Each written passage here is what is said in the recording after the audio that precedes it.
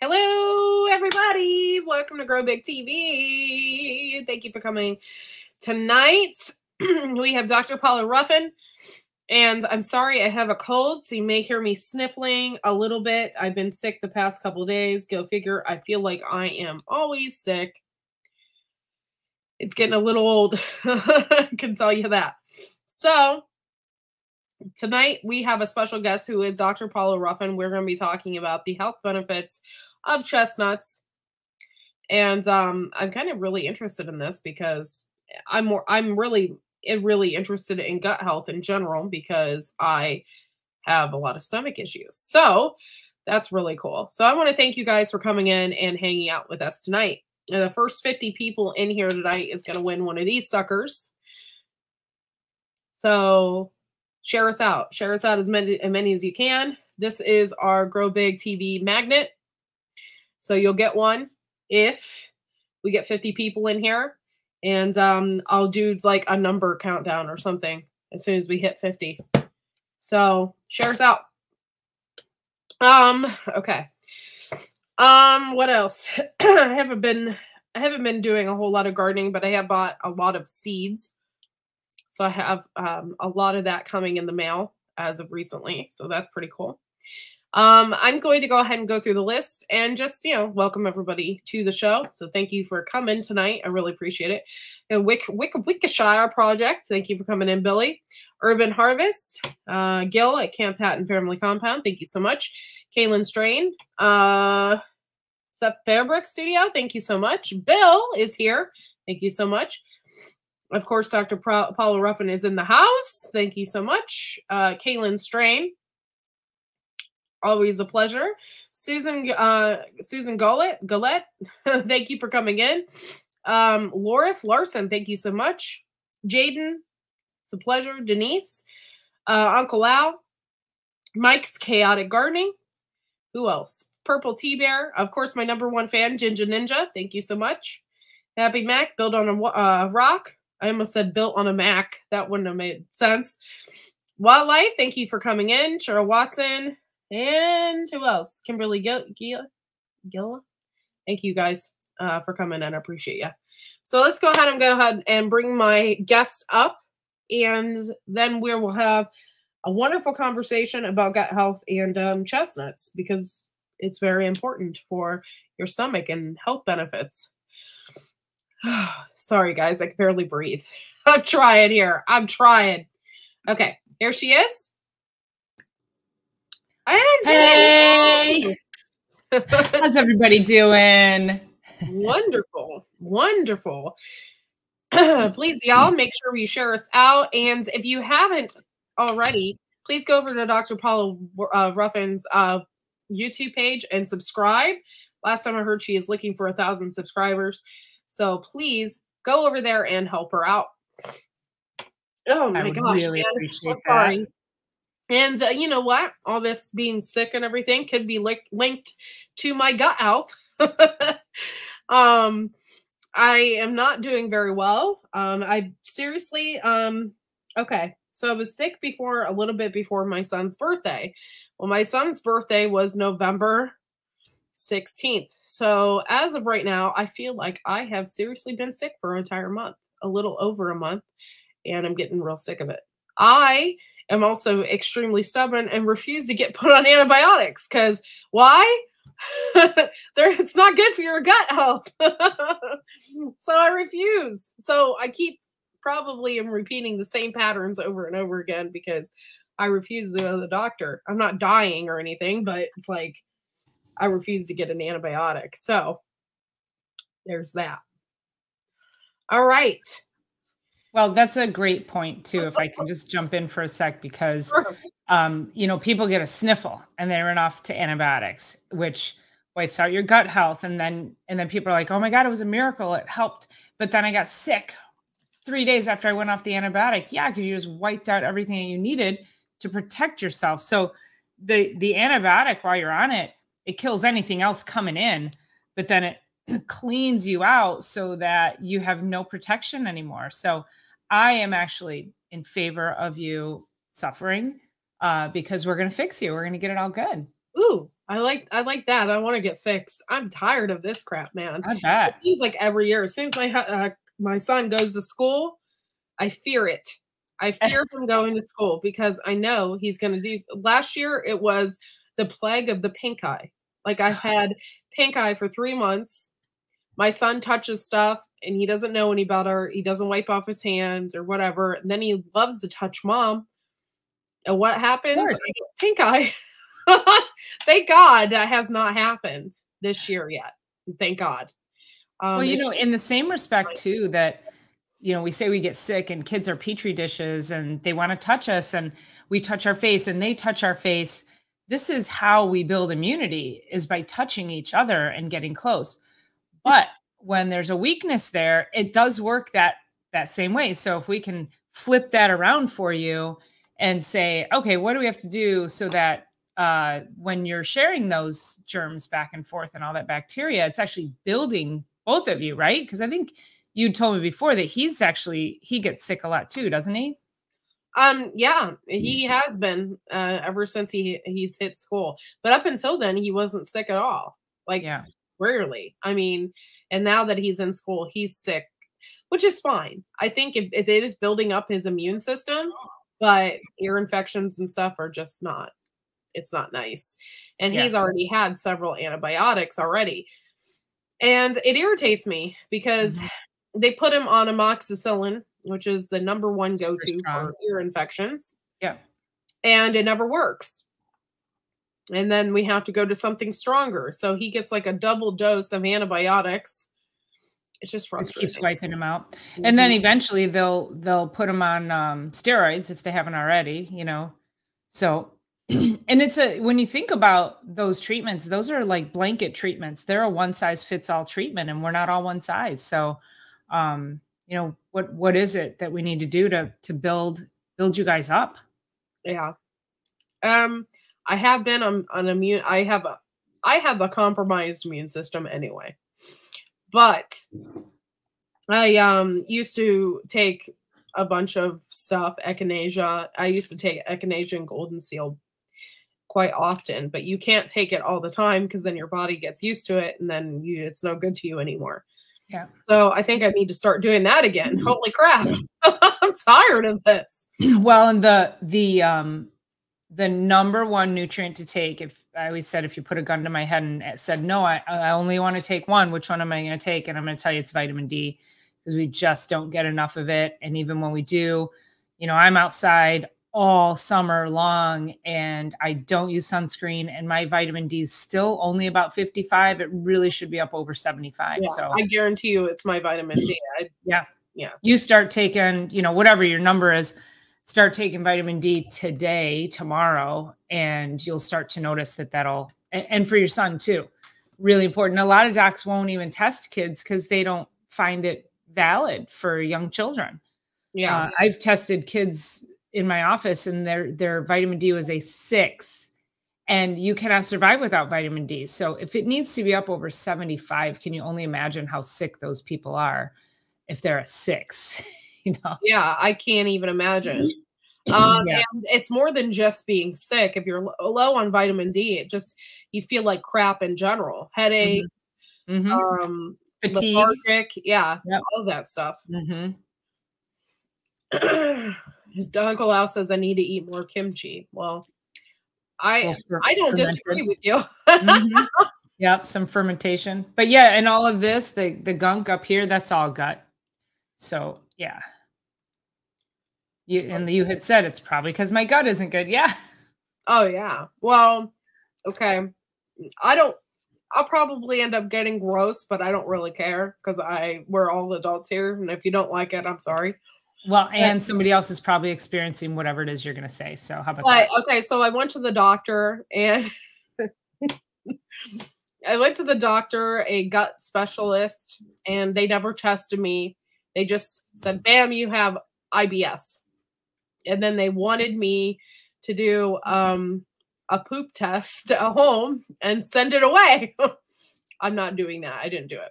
Oh, um, you should. I don't want to. Why not? you should me. totally do that.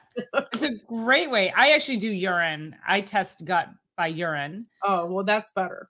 yeah, so it is a little easier. I know. I know. I don't really Can think I would being a mail carrier. What's that? Imagine. Can you imagine being a mail carrier? You know what it is because it's in a cup thingy that's specific.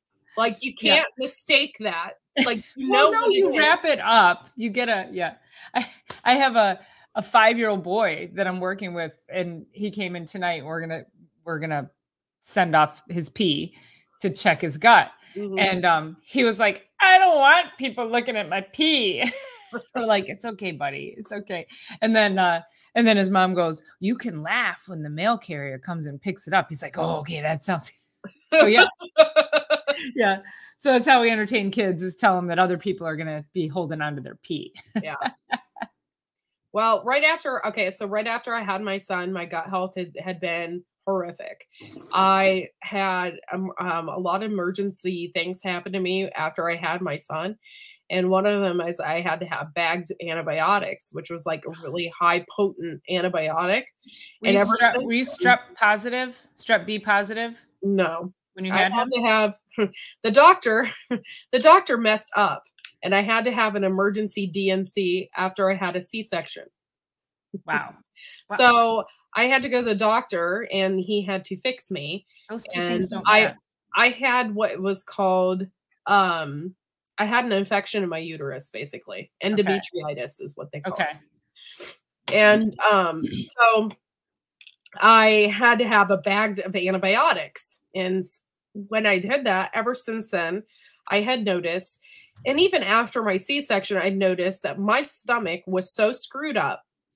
And I, one time I ate corn at a family event and like had to go to the emergency room. Wow. Which was not like me before. Like I could always eat that kind of stuff, it wasn't a problem.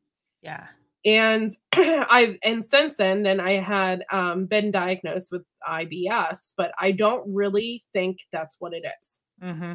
That's why I'm just like I don't feel like it's that's what it is. I'm not going to get tested for it because I don't feel like that's what it is. I think I just had a high potent antibiotic that screwed up my stomach, and I get massive amounts of heartburn all the time. It's a little bit better now, but I used to like not want to leave the house. And I'm going to share a little detail. Um, I used to have to carry a bag and toilet paper around with me everywhere I go, just in case. Oh, it's awful. It's oh my horrible. god, it's horrible. Yes, and yeah. so um, you can't be on on antibiotics like that. That's the thing. It's yeah. you know how, how did how did you get that infection to begin with? What what is that?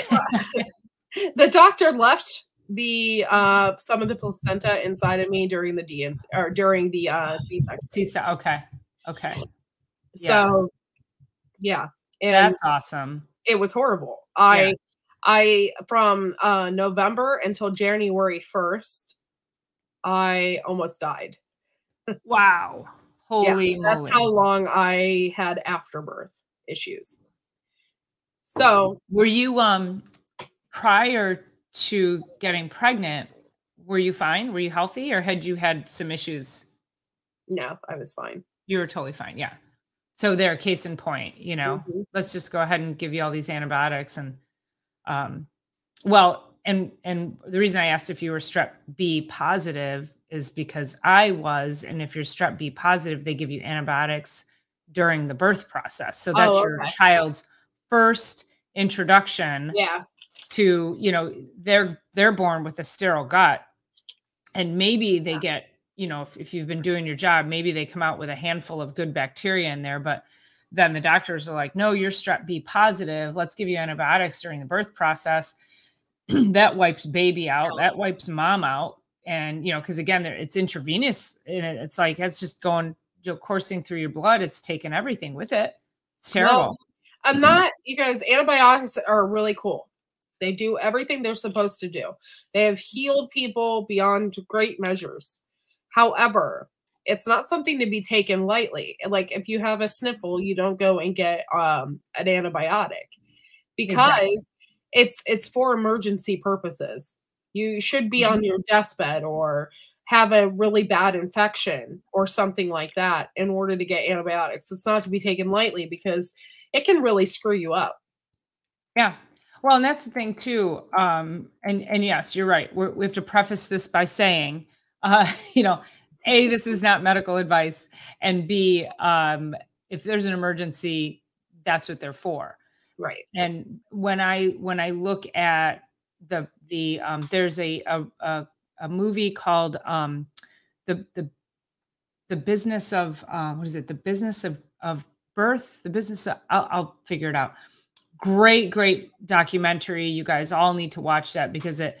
Um, and and I experienced a lot of that. I was 37 when I got pregnant, so I had I was considered a geriatric pregnancy, and it, I said, whoa, this is the complete bastardization of one of the most beautiful things that could ever happen because they wanted to give me every intervention under the sun. And I'm like, I'm a healthy individual, like 37 years old. I'm not dead. I'm not 60 and I'm going to have a healthy baby.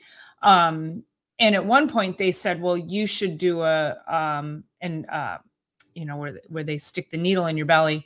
Um, and they said because they found something on the ultrasound in her brain and her kidney and that was a sign of down syndrome. And if i uh, did the uh, amniocentesis is what it is.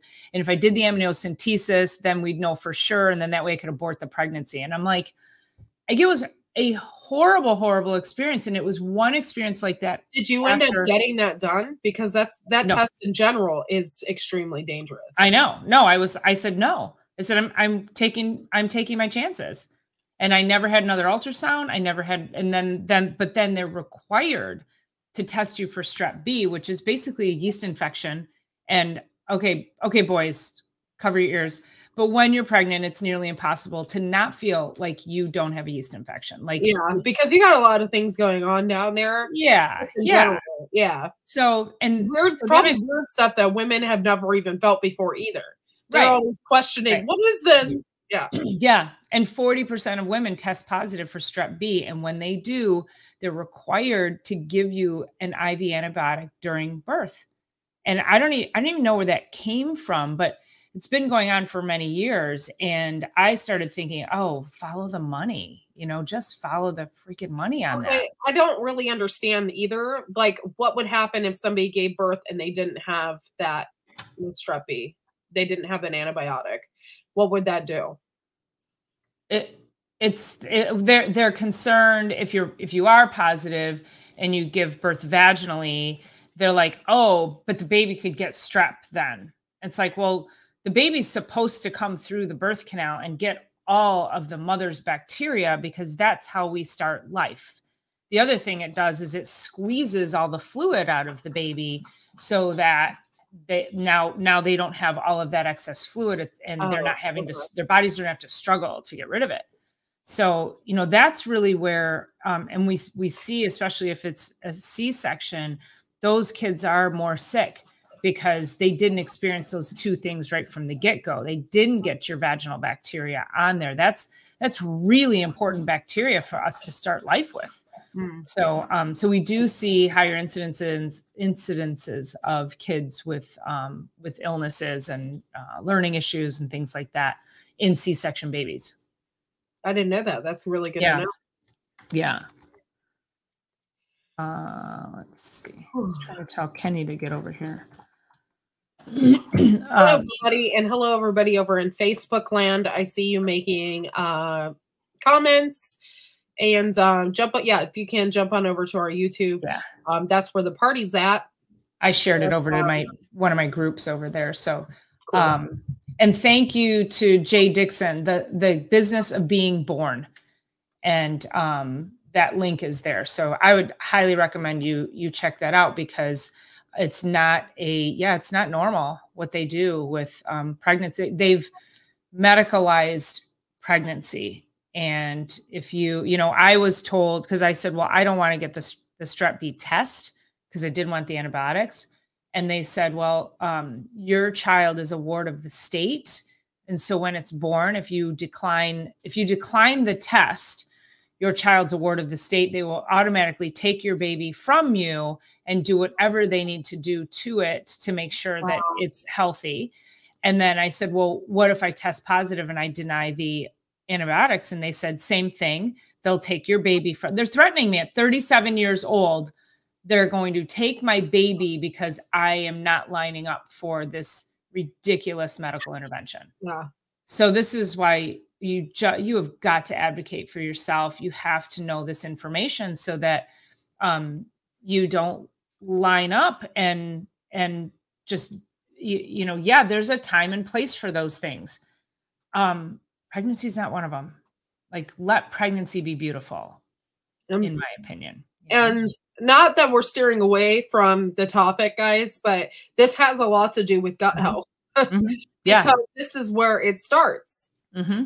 you know right from the the right from the get-go this is your your baby's health your health um, it goes right from the beginning. So, um, all when that baby's born with that sterile gut, and then if it comes through the the vaginal canal, now it's bathed in bacteria and it gets in the baby's mouth, and then it that's the first colonization of the gut. So when you don't have that, you come out, and now you have to rely on outside forces and a lot of uh, women aren't aware of if you have to have a c-section and, and you know first of all, there's far too many C sections. Um, that's already been proven that that's a you know um, a lot of them become scheduled or yeah, well, a lot of women because I didn't have a choice. Yeah, I, I, had gestational diabetes. Right. So, so they'll so they'll they just automatically say that I right. didn't have a choice. Mm-hmm. Yeah. yeah. And you probably did, but it's just a different route and a different, you know, doctor or midwife or um, and yeah, that is a it's a higher risk for sure. Um, that would be a case I would say absolutely you need to be in a hospital to make sure that that's managed. Um, so yeah, so so then there, then it's like okay, well then you need to be taught when you're in the hospital. Okay, well, how did I get this? Now that I know I have it, what do I do with it? How do I protect my baby since it didn't get all the bacteria from you know going through the birth canal? Uh, so there's a lot there's a lot that goes on that those questions aren't answered. And then you're just sent home with your baby and it's colicky and it has ear infections and it and it um uh you know reflux and uh doesn't sleep or if you're nursing it doesn't won't latch. I mean so much of of what we are supposed to be doing comes right from that first um uh experience. Yeah. For sure Oh yeah, Sorry, I see. I, went off on that. I know you're on the other side. I see yeah. you. I see you. There. Come to this side. What are you doing over there? um, we can. We yeah, we can see you. Yeah. I would like to thank you guys for coming in tonight. Um, if we get to 50 people, I'm going to give away our Grow Big TV magnet. So, um, share us out. Let us let people know about we're live right now. That is the big one because YouTube likes to uh, tell people that we're not live or doesn't oh, really you know, they just thing? don't notify people at all oh oh so, that's lovely okay yeah. so yeah. just let people know and share us out I didn't um, know yeah, that. uncle al you're 100% right on the kimchi um mm-hmm. it's a little zesty um but yeah you're 100% right and um kimchi and um sauerkraut are and pickles um all this anything that can be um fermented is exceptionally good for your gut health. So um if you eat a lot of sauerkraut whatever that's really good for you. Cabbage in general is really good for you. It's an anti-inflammatory and um it's really good for your health. So if you can incorporate that in your diet you know go for it well, yeah. and um, cabbage, any of the brassicas. And um, so you guys are doing cauliflower this week, right? Yep. And um, cauliflower, I talked about when you did uh, broccoli a couple weeks ago, that cauliflower has the same uh, compound in it, sulforaphane. And uh, so sulforaphane is actually highly anti-inflammatory It's an excellent antioxidant. It helps to balance the gut. And then with all the fiber in those um, those vegetables, that alone, those, those act as prebiotics to help feed the good gut bacteria. So, you know, it's it's great all the way around. Whew, sorry guys, I just had a coughing spell. Give me a minute.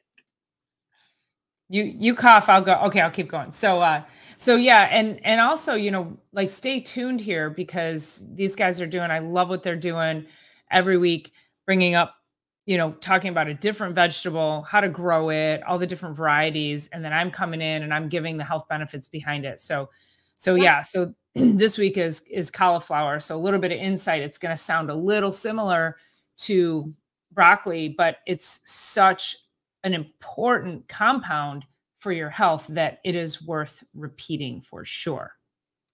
Yeah, and um, we're gonna yeah so Thursday we're gonna be doing cauliflower, talking about it and um, we look forward to seeing you guys then.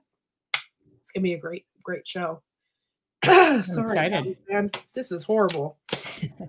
All right, so I know we were going to talk about chestnuts and the benefits of chestnuts, but just in general, there's a lot of things uh, throughout this, this time that I've learned about gut health that I didn't really know before.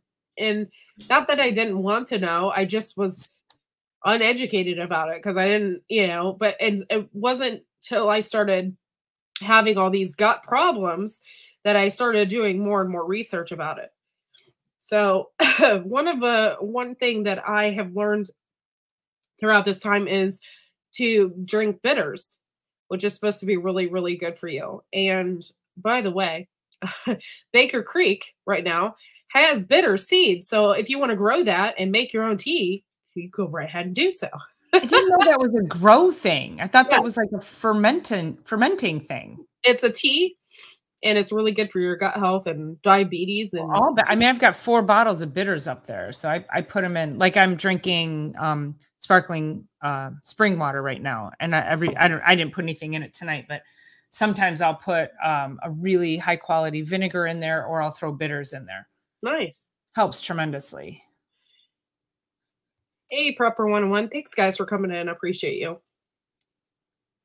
Yes, eat more chestnuts, Uncle Al. We're we're gonna get to that, but you know, I think it was good that we started off on that foot because it just started off organically, and I, I do think it's really important for people to understand that this stuff goes back really far, and you get to a point where you're an adult, and like Korky, she, um, you know, she had a a medical issue that required something that caused severe damage and then and if the if the medical community could bridge the gap and say okay now you need to go see a functional nutritionist or if they had functional nutritionists on staff that they could provide you okay listen you know you, you're close to death and if we don't do this then you're going to die.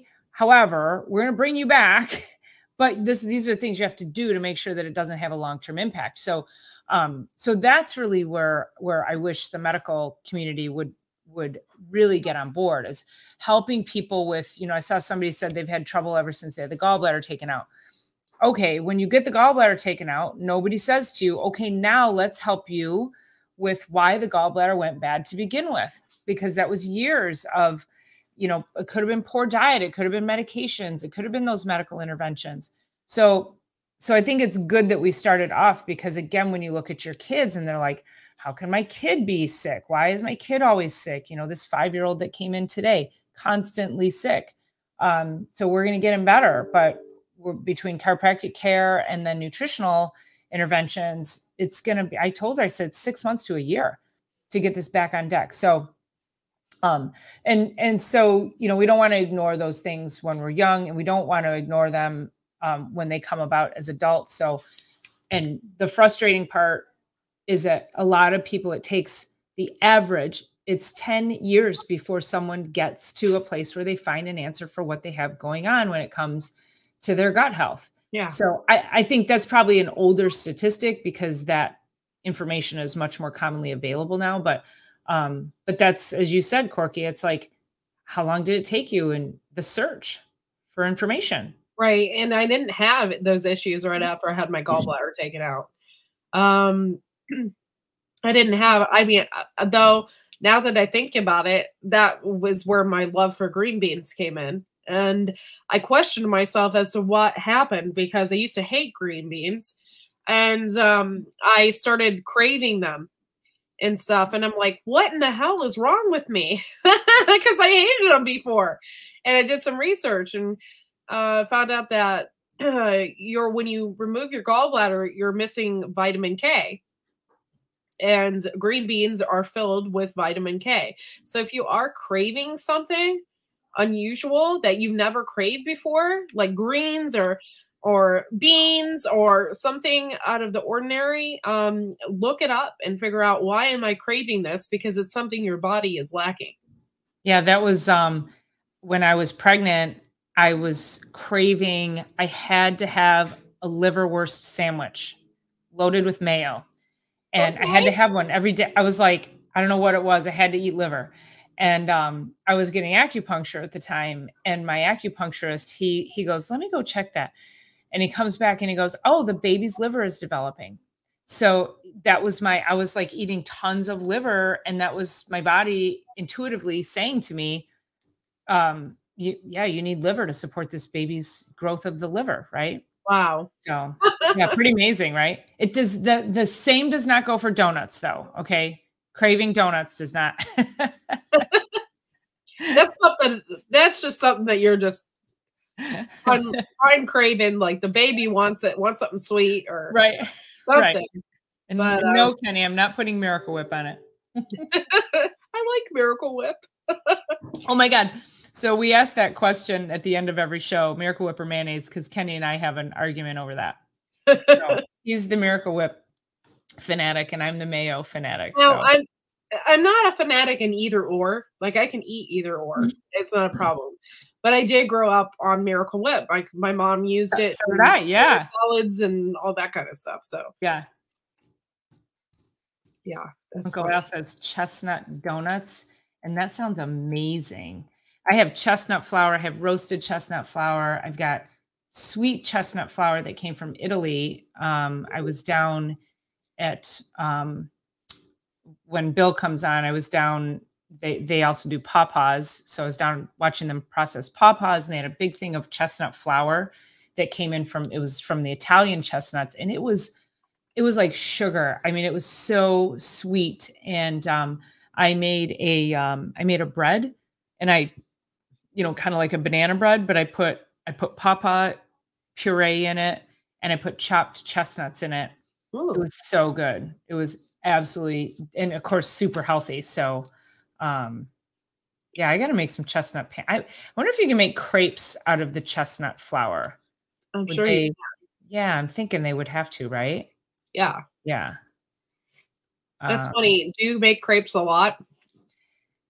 No, I, when I was growing up, we made them all the time. Yeah. yeah.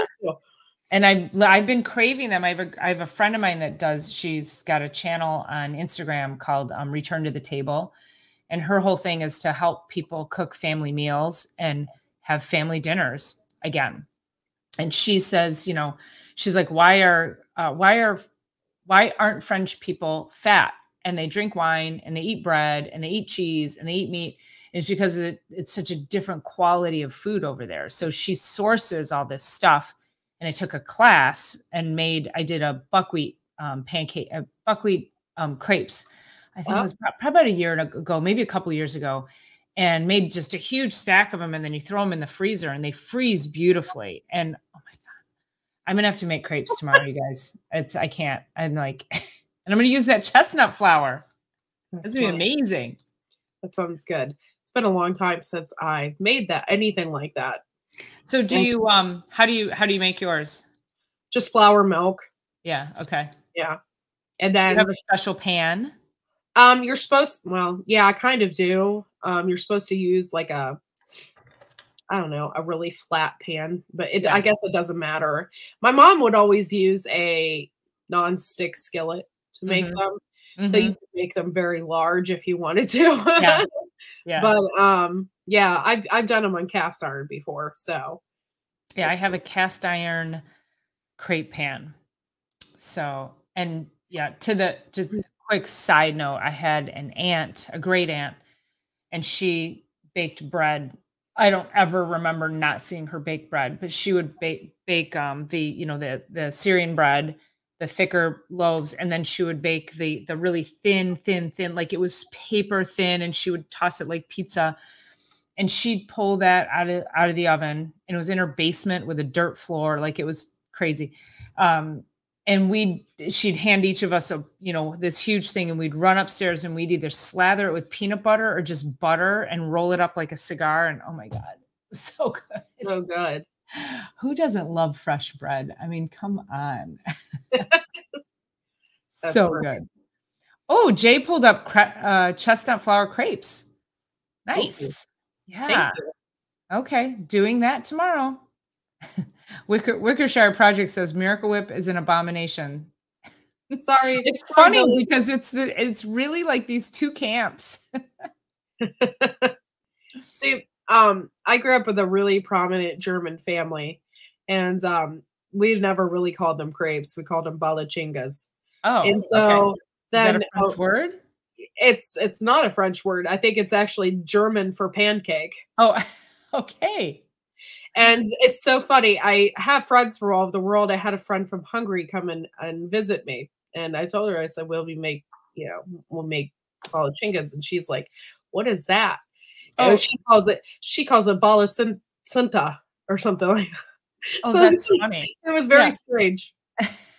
But anyway, there we always stuffed them with jelly. We never put Okay. anything else in them. Like, Yeah. you know, some people put, I don't know, like pudding in them or something like that. And we never did anything like that. We'd always just have like strawberry jelly or sometimes would have orange or would get like different jellies and put them in the center. I'm a I'm a butter and cinnamon sugar girl on everything. Oh my god. Cinnamon sugar. So yeah, I mean, that was we always had a had a container of cinnamon sugar on the table growing up, you know. so good. So good. Yes, marmalade. I couldn't think of the name Mar- of oh, there you go. Yeah. It's not really my go-to. It was something my grandma always liked. She was like, "Oh, marmalade." And it must be like I don't know. I don't know. I feel like that is a that's a that generation thing. Yeah. I think so. Marmalade was not good. I mean, I it was so.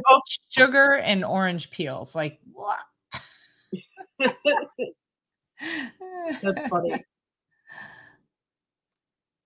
yeah, the FDA does allow chemicals and ingredients in our foods. So we have, um, uh, in fact, this little boy tonight, we're testing him for glyphosate Roundup um, because the the Roundup just doesn't go away. Uh, and you know, you can like I don't spray my lawn, but it's it's everywhere. It is in our food supply. Um, you you can't know, avoid it. you cannot avoid it. So now it's a matter of how toxic are you in glyphosate? And um, you know, this poor little boy is just sick and sick and sick. So we got to test to make sure he's okay. Um, and and I think that's an important piece. If you're having health challenges and you can't get your arms around it, um, you might want to look at glyphosate poisoning, and that would be um, you know something where you find somebody who can chelate, so an IV chelation to pull that out of the blood is really going to be your best way to to get rid of it. You can try um, diatomaceous earth, um, charcoal um, orally. You can try those kinds of things. Um, but I think probably probably getting your your um, an IV chelator might be your best, the fastest way to get rid of it. Well, Mike, how old are you? If you like marmalade, I need to know your age. Oh yeah, there you go. Yeah, yeah. I'm teasing. yeah. Oh no. Um. Uh. Tammy, there's yeah, there is a test. Yeah. So it's we're doing urine for the for Roundup. I don't know if there's a blood test, but we're doing a urine test for it. Yeah. Yeah. I use uh um Mosaic Diagnostics is the lab that I use. He's 53. Oh, okay. You must be an old soul, Mike. Mike is not 92. You didn't really have to tell us your age, but thank you. I'm I'm so glad you like marmalade. That's funny. on a uh, on an English muffin with lots of butter. Yeah, It's about it was the, the only way I could gag down the uh the marmalade was yeah, lots of butter. Lots of butter. Happy Max said that you're 92 and you're lying. I had soil. Oh, um uh, yeah, I'm talking about testing your your health, testing your body.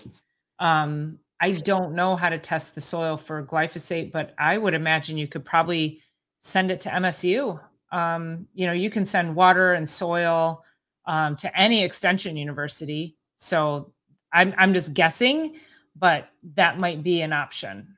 So, and shame on them. You know, it's interesting because um, Bill and I were talking today about soil and the chestnuts and how um, people. So let's say you have a farm and it's a monocrop, and then they sell it, and then they build houses, and then people move in, and then they want to grow grass, and they want to go grow trees, and they want to grow vegetation, and everything dies because that that earth has been so adulterated with Roundup and all the other chemicals. So I was like, God, I never really thought about that. And so we were talking about like, you know, the pH of soil and how do you bring that that back. And um, on my Sunday night live, I had that holistic dentist on, Dr. Joel Gould, and he said sulfur helps to um, liberate the nitrogen so that we get nitrogen. We had uh, nitric oxide is incredibly healthy for blood flow gut health, all of that. And then the, the sulfur itself helps to um, replete, re- replenish the mucous membrane. And um, so he was saying that's the same thing in gardening. You put sulfur to bring the pH down to actually liberate the nitrogen. To, and I was like, yeah, like that's so cool, right? So, yeah. which again is so cool that we're having this conversation because you talk about growing things, growing you, or growing anything in the dirt, it's all very similar. Yeah. Um, it's really kind of scary how much stuff that people put in the soil and they don't think about it. Yeah. Like I have neighbors all around me that just saturate their soil and their lawns. I mean, I don't give a crap if I have the perfect lawn. I mean, I do have grass. I do not spray my grass. Same. Um, I think my yard looks pretty dang good for not spraying my grass. Um, but my neighbors are just, uh, I mean, think about it though. Like, I mean, they they at least have three acres, three or four acres, and all around me. And um, my mom and I together, we have five. So, I mean, if you're spraying all that constantly with lawn, you know, lawn feed and everything else, I mean, it's just getting in the water. It's getting everywhere, and everywhere around here has well water. So, have you had your well water tested? I haven't yet. Now I'm worried yeah. And I think that's also something that um, I did a segment on water many months ago um, because well water can be very much contaminated. But I think a lot of people think, oh, it's a well, um, it's fine. But um, there was a, um, I think I, I I started ta- um, talking about that because there was the story of the Wolverine shoe company over on the west side of Michigan, and that they had contaminated everybody's wells because they threw out the treated uh, suede and leather scraps, and it was just, and they were dumping it into the river, and these scraps were just lining the river. So for months and years, they were just leaching all these chemicals into the water, and people were getting cancer um, dying at young ages. Um, how uh, how old was this company? The Wolverine is the Wolverine Shoe Company. Yeah, so they were around for a really long time. Oh my gosh, that's yeah. crazy. Yeah, you can look up the story. It was on M Live, and it's fascinating, and it'll really piss you off because you're like, I can't believe that they would knowingly, they knowingly dumped all this stuff in the water. So, and those are the forever chemicals, right? So, um, so, and again, just looping it back to gut health is if you're exposing yourself to any of the forever chemicals. And I mean, that means like you buy a pair of shoes and you go outside and you take the spray, the waterproofing spray, that's a forever chemical. And what do you do when you go outside and you do that? You you immediately go because it, it you can't help but to breathe it in. So the stuff is really, really toxic. And Teflon, you mentioned Teflon earlier. Yeah, we, yeah, Yeah, Wickershire. Yes, they knew. They totally knew what they were doing. Yep. Yeah. So yeah, that's crazy. Wolverine was around. We'll ask um we'll ask Bill about the glyphosate. He might know. And Bill, if you do know, you could um you could drop it in here too. Yeah. Oh, thank you, Jay. Jay's going back and finding all of these things that I already talked about. That's great. I appreciate that very much. That's because Jay is awesome. That's awesome. Yes. I, need, I need Jay to come over and moderate my channel. Love it. So, anybody out there, are you having gut health? And what exactly is your gut health problem? Do you have ulcers? What is your gut health issue? Oh no, we don't feed the grass anything. If you do, it grows, and yeah, you then you have to mow it. That's right. Hey, robot gopher. Thanks for coming in. Hello, Wanda. I know you said something about ulcers earlier earlier, so I'm just curious. I um I do not have ulcers, but um yeah, I have I have some major stomach issues going on and I just it's so frustrating.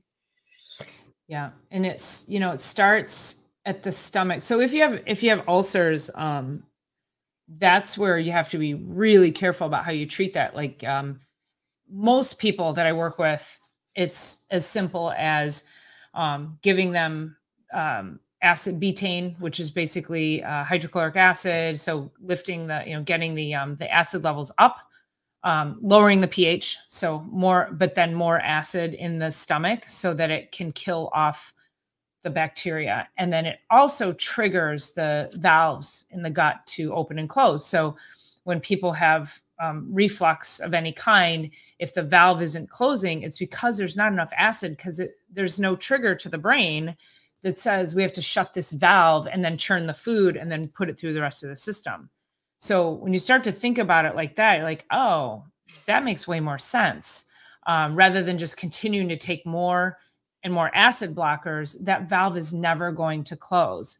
And now you're not digesting food. And now you yeah. break the mesh of the gut and you get now what's called leaky gut and you start filtering out all the food particles into your bloodstream and then that is where we get autoimmune issues and chronic illnesses. So um, ibs all of the you know fibromyalgia all of those things. Now when you have an ulcer so so that's pretty much the garden variety right? It's super easy. Acid bug killers um, uh, gut restoration use aloe deglycerized licorice. There's you know a handful of a handful of things that we use as a cascade for that. But if you have an ulcer, gosh, you have an ulcer. Um, and sometimes that's H. pylori, and we have to come in and we have to kill the H. pylori. You might have, um, you might have uh, parasites. I mean, I saw somebody mentioned, uh, somebody asked a question way early on about parasites, and I think we were still on um, on birthing and pooping in a bucket. So, but but yeah, if we do, uh, you know, it, that's so, so that is just a deeper dive. And that really, um, you know, I always say to, if you're struggling, don't guess, just test. Um, because I want people to get a lot better, a lot faster instead of let's try this, let's try this, let's try this. Um, you know, testing is going to cost you anywhere from three to six hundred bucks, depending on what we we run. I mean, I could run a thousand dollars worth of tests, but I don't generally need to. Um, somewhere in the ballpark of three to six hundred gives me everything I need to know where to get you rolling and not guessing. And because you've done enough guessing, you know, you've been all over Google looking for answers. So, like, let's just stop that and just get you well, you know?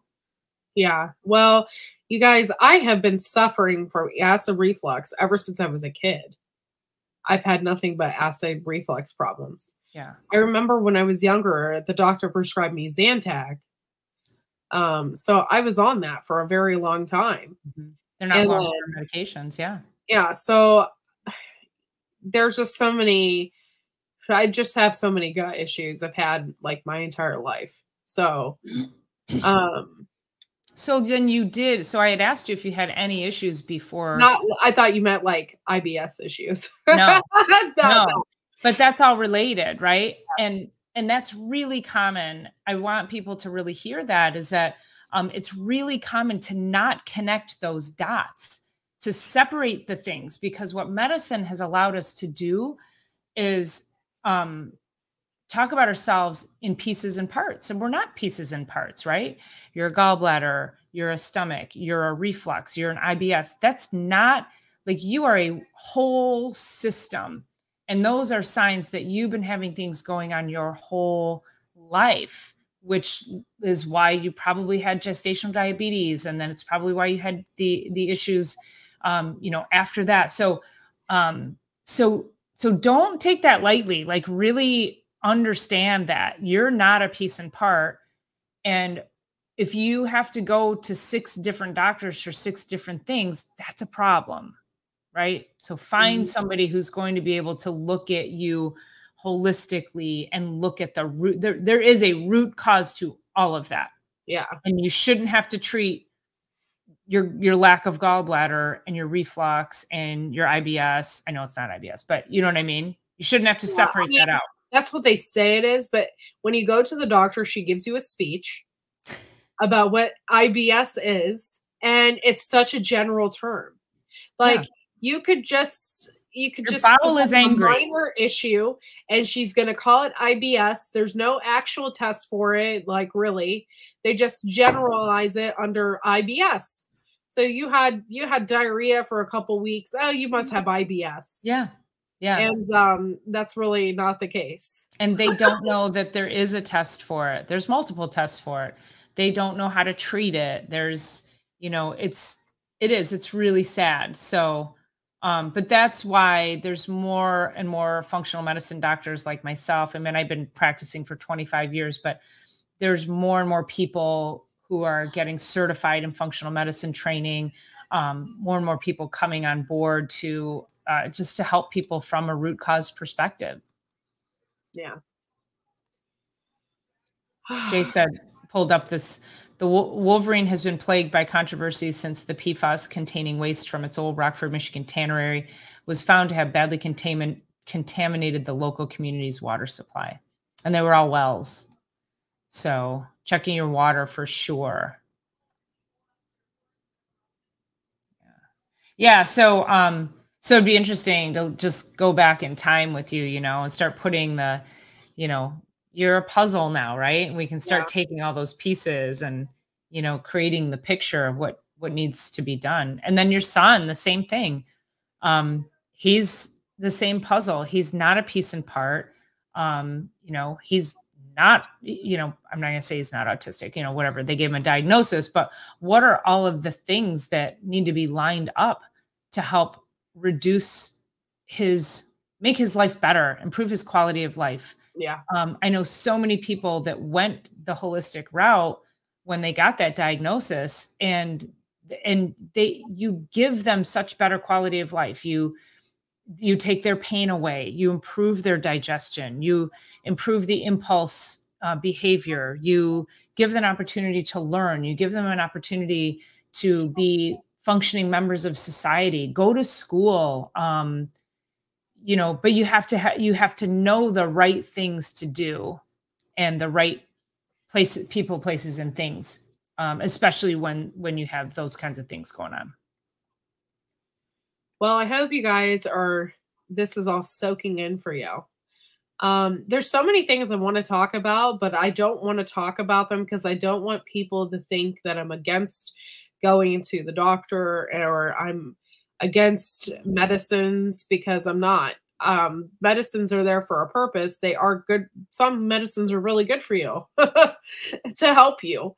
Um, but I think some medicines are just um, offered to you just, oh, here, take this like like candy. Yeah. Well, and that's the that's the sad part is that um, you know, uh, yeah, if you are in an emergency, you are going to want emergency medicine. Um, but most of medicine is um, they don't have any other tools in their toolbox. And I hear it all the time. Why doesn't my doctor know this? Why doesn't my doctor tell me this? Um, why doesn't my doctor test for this? Because they don't know. And um, and kudos to the doctors who, when I do send my patients to back to their primary care physician and they say, yeah, uh, Dr. Ruffin did this for me and I no longer have digestive issues or my sinus issues went away or cured my gut, whatever it is. Um, and the doctor's like, wait, what is she doing? And they pay attention. I have had the reverse where they tell their patients, um, that's hogwash. Um, don't do that. Go back on the medication because they don't, they also don't, um, when you think about the money you spend on a medical uh, education and then all of a sudden you find out 10 20 30 years later that it's doing nothing but making the majority of people sick. Yeah. And they've given you no other tools. Yeah like that's kind of some people just want to bury their head in the sand and go I, I can't. I don't even want to deal with that. Because it's a whole nother education. Trust me i've been doing it you know? Um I mean, I was I always. Have, I have somebody in our basement right now who is your friend. I've never met him before. Is his name just oh. Bill or is it Doctor yes. Bill? No, it's just Bill. Yes. Just Bill. Okay. Yeah. Well, here he is. Hi. There's Bill. Bill's our chestnut guy. yes. Well, hello, Korky. Uh, Hi. Dr. Paula. Thank you for having me this evening. And uh, yes, chestnuts. I'm glad to see so many enthusiastic people out there that enjoy chestnuts. Yeah, so Bill is I've been out to Bill's farm. I have um I have another video that I did out on his farm interviewing him and it was just beautiful. We talked about chestnuts and pawpaws and all the other nuts and perennial crops that he grows, black walnut. And uh, so when um, and then there's just exciting things going on in the chestnut world. I know that sounds, you know, people are like, exciting things in chestnuts. So, um, so I thought we'd bring Bill on. And of course, when we look at how healthy chestnuts are, what a great combination. So, um, so yeah, so Bill's the guy. So he started a, um, uh, he's Bill. Were you one of the founding members of Chestnut Growers Inc? Mm, yes, we do and, have a marketing co-op here in Michigan that markets uh, chestnuts. Uh, and Michigan actually has more chestnut growers, more farms than any other state in, in the nation, more than California. Uh, the co-op we've yes, and the co-op has marketed in the past well over 200,000 pounds of uh, chestnuts.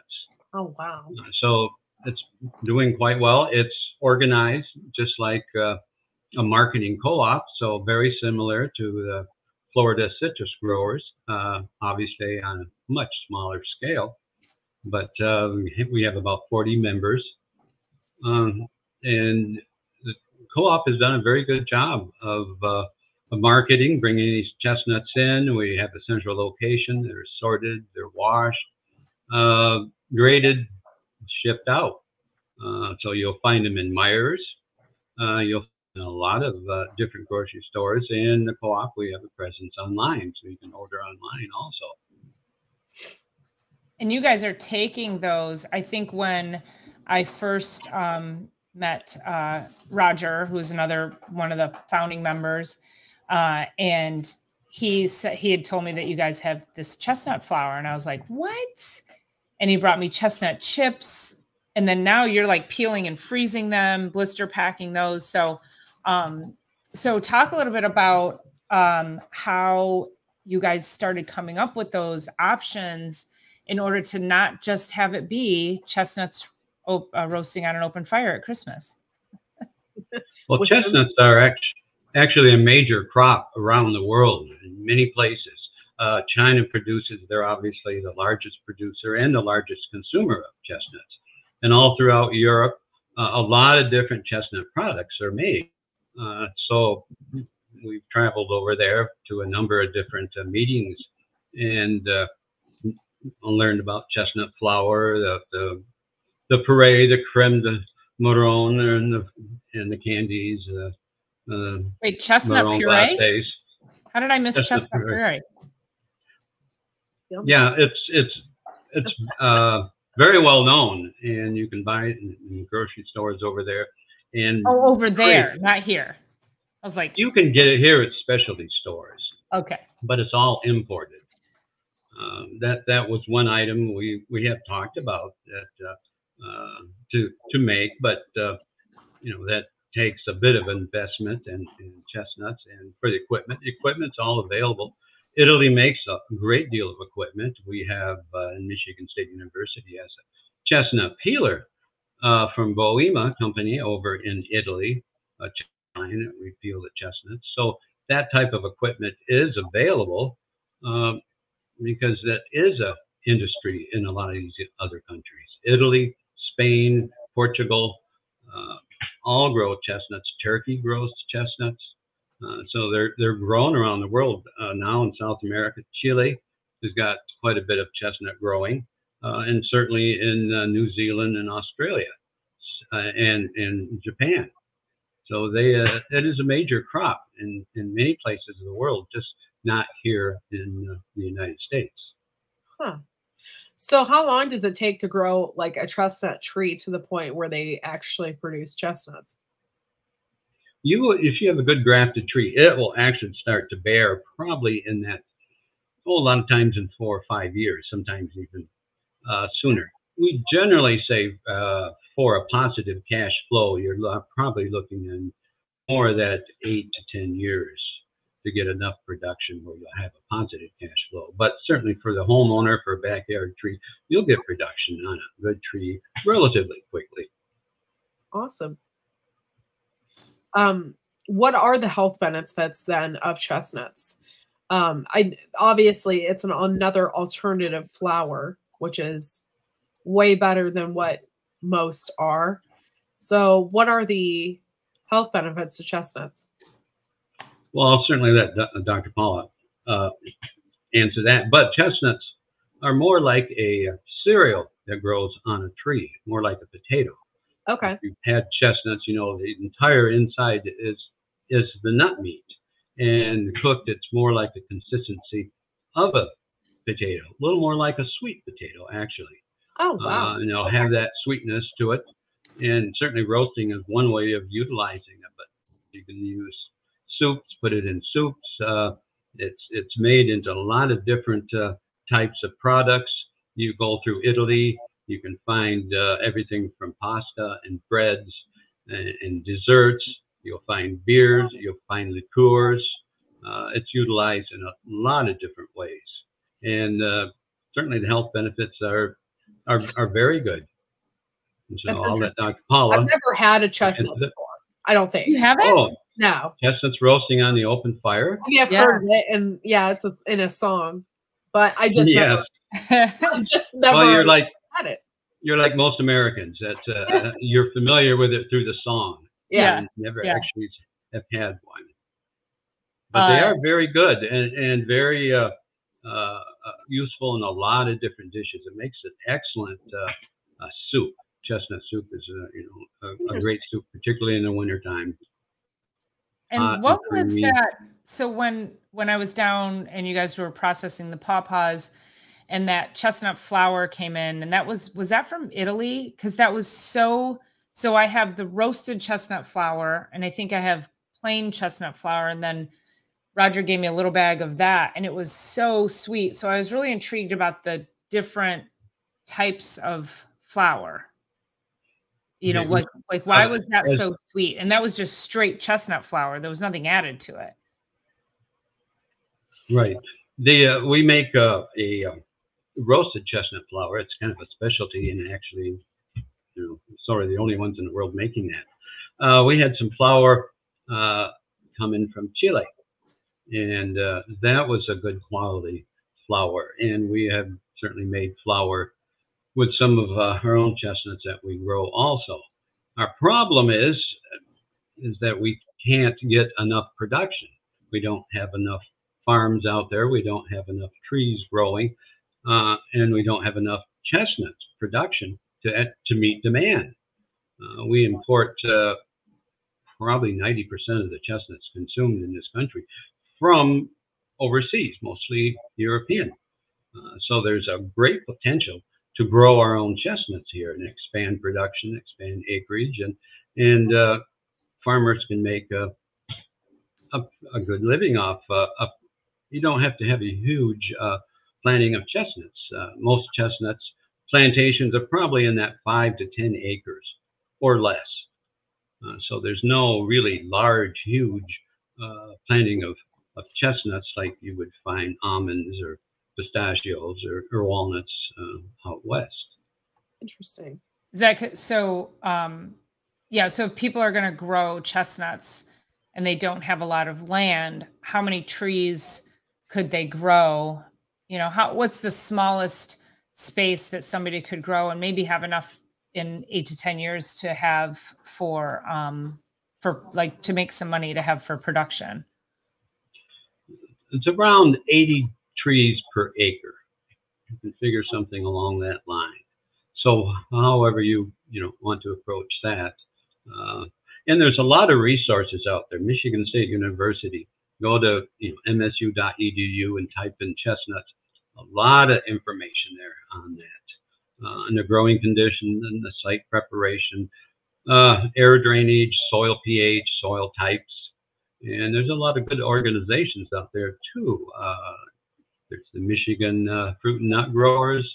There's the Northern Nut Growers. There's certainly the Chestnut uh, Michigan Midwest Chestnut Producers. There's a lot of organizations out there. So anybody, I would advise anybody who's really thinking about that seriously for some type of of uh, income uh, to uh, you know get your ducks in a row and explore this. And some of these organizations are, are very good. At Michigan State University, the partnership with them in the chestnut industry has proven absolutely invaluable. We would not have an industry here growing chestnut but if it were not for Michigan State University and all the research and help that they have given us. Yeah, because you guys got the the grant for the machinery, right? Or was that the yes? Am I getting that mixed up? No, uh, that's that's another that was another uh, grant. But yes, uh, over the years, uh, partnering with Michigan State University, uh, been a lot of grants have been uh, received uh, for equipment, for research, for trees. Uh, so whenever you're, whenever you go to another state and you know another nut grower meeting, when you tell them you're from Michigan, they always say, "Well, you're very lucky. You got Michigan State University there behind you." I said, "Yes, we we know that, and do consider ourselves very fortunate, and that's why we have this uh, chestnut industry in in the state." So they haven't worked with other chestnut growers around the country then, or was that just something that you guys went and started working with them to try to propagate this crop? And they were like, "Yeah, let's do it." Well, there's definitely some outreach, and there's some other places around, like Missouri University. Missouri has been doing some chestnut work, uh, and, and, and Rutgers, uh, and, and some of the other ones. Uh, Michigan State University, probably the main one, and of course, Land Grant College. It is, you know, trying to support the residents of, of the state and the farmers of the state. You know, that's sort of their their guideline on that. But certainly, the information that they have uh, have published is, is available, and you know, I have gone with a number of the researchers around to different meetings, and they'll certainly have presented papers, you know, all over this country and uh, uh, quite a bit of the world. Interesting. Um, and how long ago did you guys start that the start CGI? We started out about 20 years ago. Okay. So pretty young, really, that. right? Yes. Yeah. It is. And it, it uh, you know, growing pain certainly, but uh, no, it has done very well and very well for the members. As I said, there's about 40 members we have quite a few other people that are starting to grow and have planted chestnuts. Uh, to be a member of the co-op, uh, you have to contribute to the co-op. So people don't join the co-op until they actually have start having some production. Okay. Uh, the the Midwest uh, Chestnut Producers Council, that's sort of the uh, educational arm, uh, and so the membership in that, there's a lot of growers in there that are are starting into grow, starting to plant, and a lot of information. We have uh, annual meetings uh, in Michigan State University. Um, a lot of updates from engineering, uh, a lot of entomology. Uh, so a lot of current research. And that's why I would certainly, anybody who's interested in that, uh, join these organizations, come to some of the meetings, and you will find out uh, there is a lot of information out there grow this crop. And anytime we try to get a potential grower out there, you know, we want to make sure that they're successful. So it's like, what is your growing conditions? You know, what's what type of soils, what type of slope, where are you, what zone, what USDA zone. Uh, then you can make some recommendations on growing whether uh, the Chinese cultivars, the Europeans, or the European uh, Japanese hybrids. So, like any other crop, uh, a number of different things to consider uh, to make certain that uh, you can have some success. Is one chestnut tree better than the other? that's, that's a very good question. It's a little bit uh, because there are so many different cultivars and different growing conditions, but it's, it's a little bit like uh, asking a group of, of uh, 10 wine tasters what's their favorite wine everybody will have their favorite these are their their favorite cultivars, the one that does best for them. And you have certainly different variations in, in growing conditions and climates, uh, not only around the state of Michigan, but certainly uh, all over uh, the country. So in some places, uh, other particular cultivars will do much better uh, than in other places. Missouri can certainly grow some cultivars that don't do very well for us. Uh, and so that was some of the research course of Michigan State University to try to find some of the cultivars, some of the varieties that grow best uh, here in Michigan that will perform and uh, farmers can have uh, success with. Interesting. So is CGI just Michigan farmers then? Or is that? It is. Well, it, at this point, it is, though it does not have to be. We did have a member from Ohio they they retired when production. But no, it uh, it can be uh, here from the Midwest, but we only have one receiving station. So the thing is, if you're going to bring your chestnuts into uh, CGI, the receiving station is in uh, Clarksville, which is halfway between Lansing and and uh, Grand Rapids. It's a Michigan State University field station.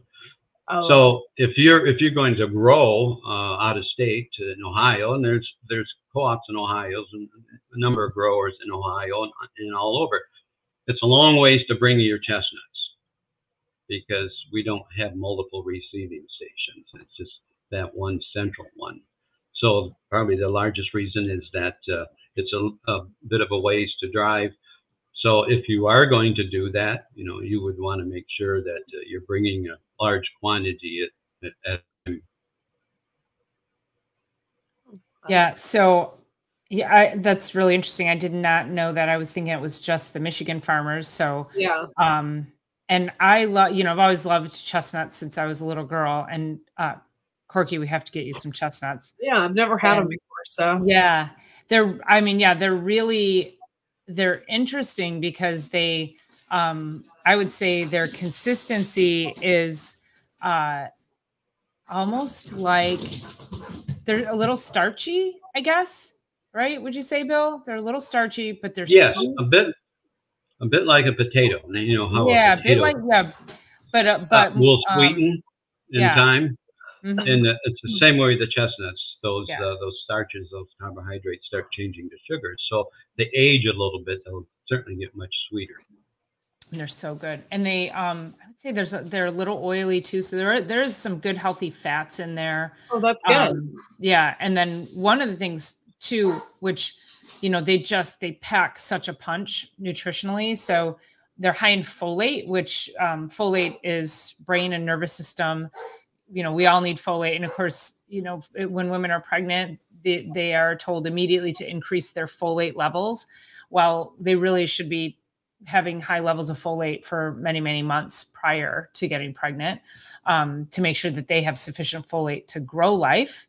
And uh, so that's really one of the key nutrients. And then as we get older, folate's really important for brain health. So, um, so you know, this would be the fact that you can now get some kind of chestnut, whether it's the whole chestnut, whether it's the flour, um, the chips, or you know, some if you you can get chestnut in some variety year round, means that you now have access to this incredibly nutrient dense crop. Um, one of the things too is it has a couple of um, uh, so it has lutein in it, and I think it's is it zeaxanthin. There's a couple of of uh, compounds in there that are excellent for eye health so, oh. what's really important to know about that is that when you eat those uh, compounds, when you eat foods that have those compounds, it actually helps protect your eyes from the blue lights, right? So I'm staring into a, a, little LED right now, which is horrible for me. So I probably should have downed some chestnuts before I, I did this, but and you're seeing in the dark. I think you you've got the right idea. Um, yeah. So um, yeah, the dog's barking. Paula's like Bentley says hi. Bentley's saying hi to everybody.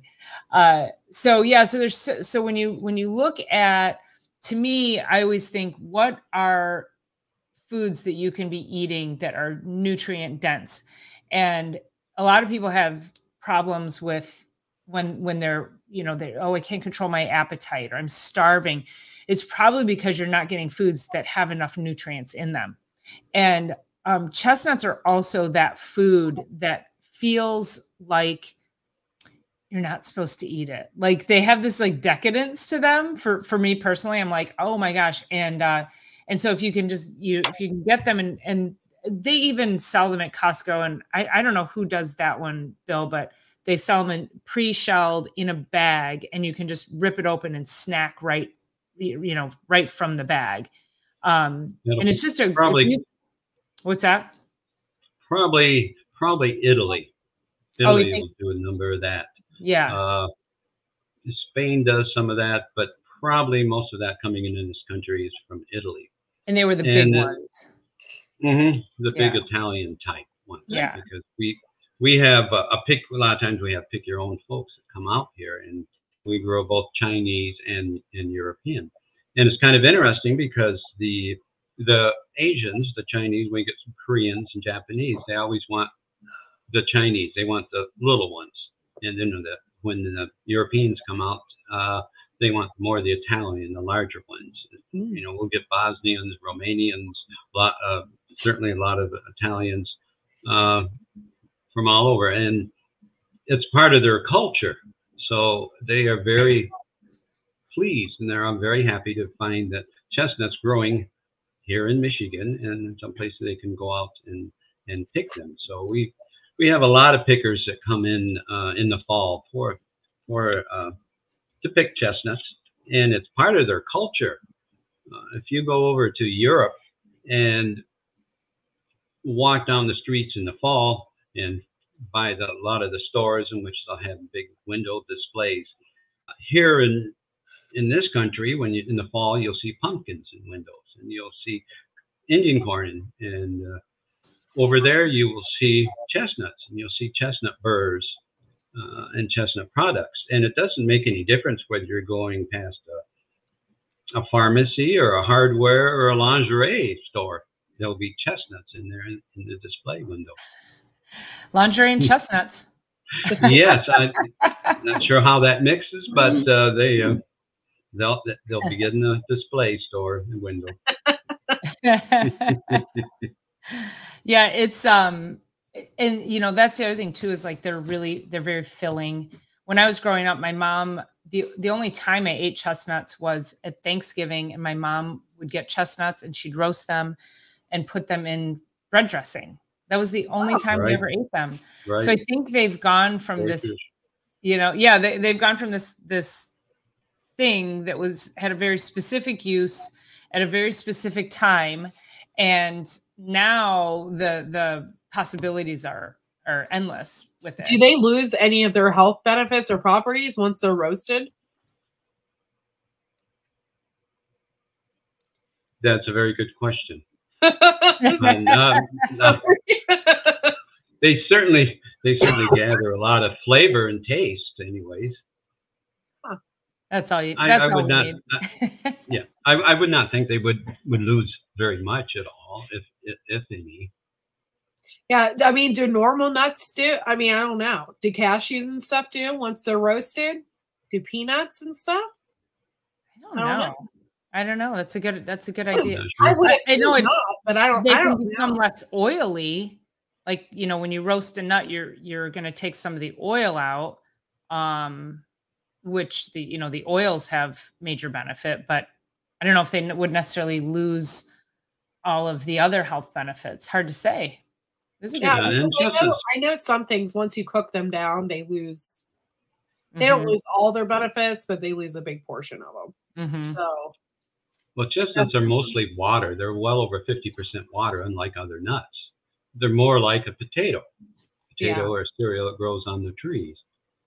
Interesting. And there are certain you go to like China, particularly in the rural areas, they will depend on that in mountainous areas as a major crop. They'll harvest that and they'll certainly dry that down and rehydrate it and utilize that as a major food source. Uh, and and uh, around the world they'll do that. A lot of times in Europe, because a little more affluent, it's looked more as a uh, as a treat, as, as something uh, not so much as you're going to eat that every day as a wonderful little treat now and then. I got a question about the nut in general because I know, like with almonds, they need um they need bees to survive. Basically, does chestnuts have the same issues as almonds do, as far as getting pollinated? and pollinated. Uh, they're mostly wind pollinized. It's Oh, sort of like a, a birch because of the catkins. Now, now there is a little controversy. Some people think they're more insect uh, pollinized, but it's not so much with the honeybee. It'll be other insects, and they produce a lot of pollen. If you go out into a chestnut orchard and they they blossom around the Fourth of July, uh, they have a very distinctive uh, aroma. Uh, so if you're walking along and you smell that, uh, you'll know there's a chestnut tree around someplace. Okay. Uh, and it really fills the air. Uh, I've got neighbors now, uh, oh, quarter, half a mile away, and you know, what is that smell? What, what, what is that? And because the chestnuts flowers? produce the flowers, the chestnut flowers, the Wow. catkins. It so just, really, just fills the air. so really, chestnut flower would be a better alternative to almond flour, for instance, because almonds are harder to grow. Almonds are harder to produce. To produce. So if chestnuts are just e- easily pollinated by the wind, I mean that's a huge Yeah. thing. Yes, you don't have to bring in a lot of the European uh, honeybee. Yeah, and that'd be a great alternative flower. You know, that's that's amazing. Yep. There was a ma- there was a major industry here in this country for chestnuts for the American chestnut. That's a, that's a story all unto itself. But uh, that that there was with the introduction of the chestnut blight around the beginning of the previous century, about 1903, uh, the chestnut blight came into this country and in about 40 years pretty much wiped out the American chestnut. At that time it was about one of every uh, five trees eastern east of the Mississippi River was American chestnuts, and so you read accounts when our uh, forebears uh, came to this country that game was so abundant. Well, it was because of the American chestnut. It produced an annual crop of uh, of nuts, a very very healthy nuts, oaks and a lot of other walnuts. A lot of times are bien biennial bears. They bear every other year, and so you can get populations of wildlife build up and crash and build up and crash. Now with the American chestnut, or certainly the European and the Chinese, they bear every year. There'll be a little fluctuation, but you always will get a crop. So it supported a lot of wildlife, kept that wildlife very healthy because it was such a nutritious nut. So we were probably about five generations removed from people really knowing what the chestnut is. Uh, but at one time back in the 1800s, it, it was a major industry, and you would find chestnuts uh, in in all the cities. They would bring them in and sell them in the stores, or roast them on the street corners. Uh, but uh, because so of is the there blight, a bug or something that goes after these chestnut trees that causes them well, to? of, of the American chestnut, it's it's a it's a fungus that came Oh. in. Now, because it evolved, it probably came in with the Chinese chestnut.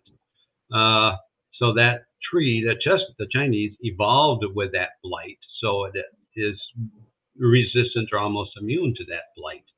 But when it came to this country, it, the American chestnut, which is a different species, uh, had never seen that blight, and it went right through them.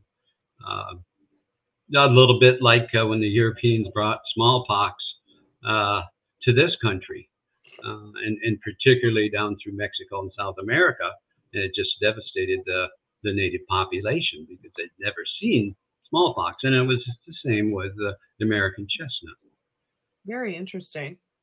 So then how did they get the other varieties here to um I guess you know be, Oh, be the able to other start propagating. Yeah.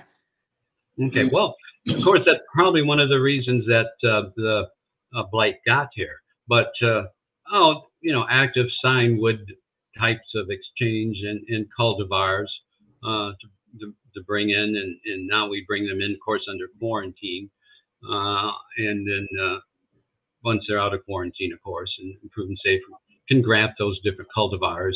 And some, you know, climates around the world, some of the cultivars will do very well here in Michigan, and uh, others will do well more in like an Oregon or California situation, uh, particularly like some of the Southern European types. The Marroni is, is one of those. Uh, that does not, that particular one does not do too well here in Michigan, but some of the French hybrids certainly do very well and produce a very large nut and a little more disease resistant than some of the ones that we're growing, particularly to you know some of the soil-borne diseases like Phytophthora uh, and, and others. So do you find it's better to do you, do you have just uh, a small variety that you're wanting to propagate rather than try to get multiple different varieties just just focus on a few to to really get to the industry to get to market Well, some of the ones that state uh, has has grown and has proven to do well here. Some of the, the French hybrids like uh, Precoce Migoule, Mary Gould, uh, uh, the Marsol. There's a series of these, and they do well here. They're, they're hardy, and they produce a very good tasting nut. And uh, the, the trial plantings have, have shown that. And there's a few of those, few growers trying those. So those are the ones that we're looking at, trying to propagate those and, and get some more trees online to increase acreage and and, uh, and, and increase the industry. Wow. yeah it's pretty fascinating to think that um like i i'm like hey i know the guy that's like propagating a, a freaking industry like If- I think it's really, I think chestnuts are really cool. If that's the case, Yeah. they're easy to pollinate and and stuff like that. I think, I think they're pretty awesome. I think more people need to get into them. More people need to start growing these trees. Um, it's nice to have alternative food sources out there versus the mainstream ones. I know almonds are pretty mainstream, but they require a lot to grow. So if you can grow chestnuts, why not? Oh, absolutely, and and they they give a good return. Chestnuts will probably produce in about the uh, ten years or so, someplace in that. Uh, oh, you should be getting three to four, maybe five thousand pounds per acre.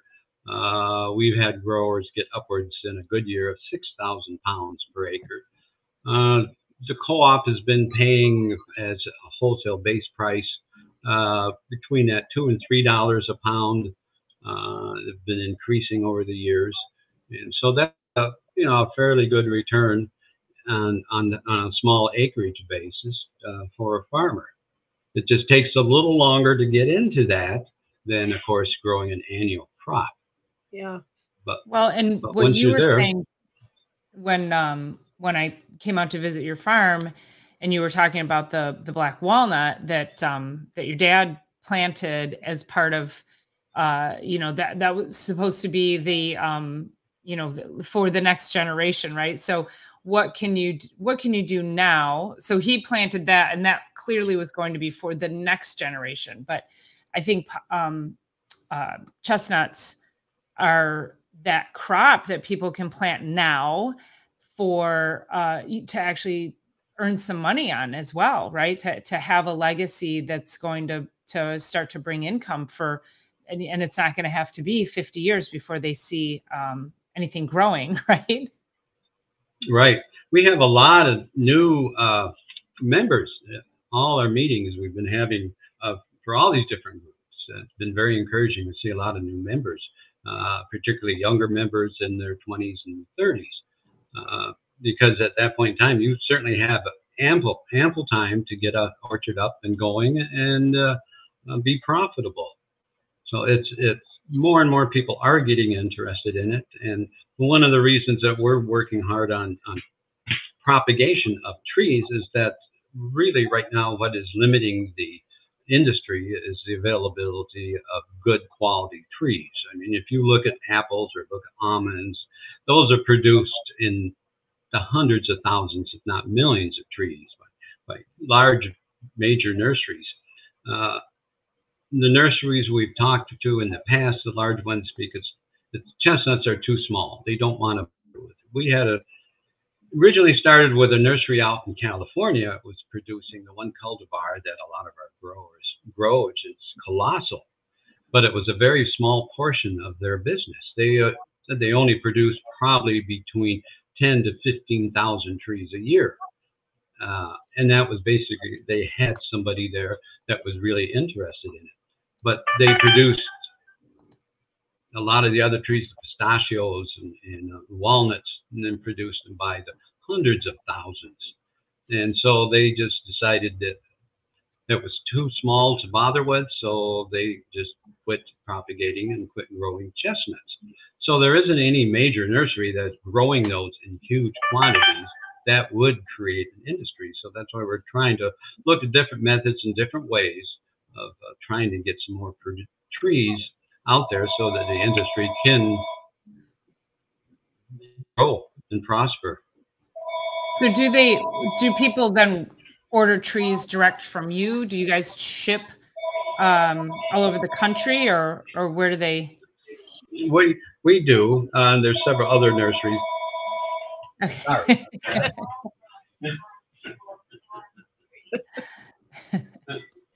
We'll just take that off. take that offline. Here in the office. actual phone? Calls, was that an actual phone? That, that was an actual phone. I haven't yeah, heard one no. in a long time. Was that a rotary dial phone, Bill? nice try, Paula.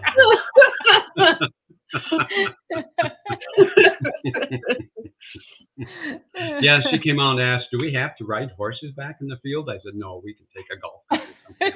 a carriage. We needed a horse and carriage. right. Right. he he actually has motorized vehicles on the farm. yes, door plumbing. Believe it or not. That's funny.